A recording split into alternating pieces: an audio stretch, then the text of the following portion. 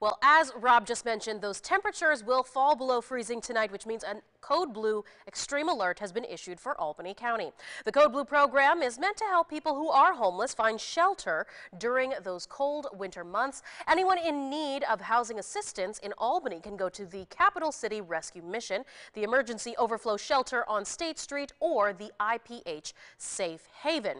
News 10's Anthony Krolikowski visiting one of those shelters today, and he shares the preparation ahead of tonight's dip below freezing temps.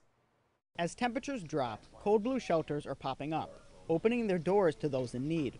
Albany Capital City Rescue Mission Chief of Staff David Poach assures News 10 they are prepared to help the homeless. We are getting ready for Code Blue tonight.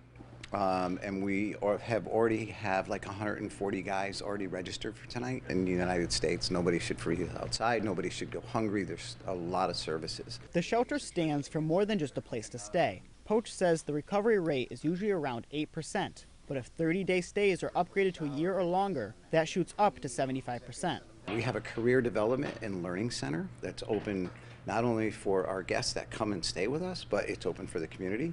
They can move into our transitional apartment program. They get a job and they're living here for one to three years. Over in Schenectady, I met with Mayor Gary McCarthy during today's Hanukkah festival. The mayor was able to give us some insight on how his city aids the homeless. We have a robust network of uh, providers. Uh, so may start with the police department, fire department doing referrals.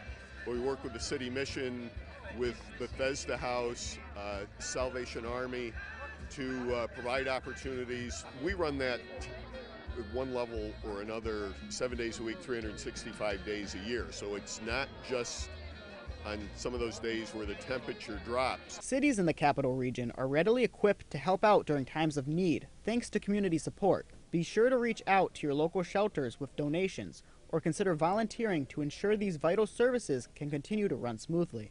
Reporting in the capital region, Anthony Krolikowski, News 10, ABC.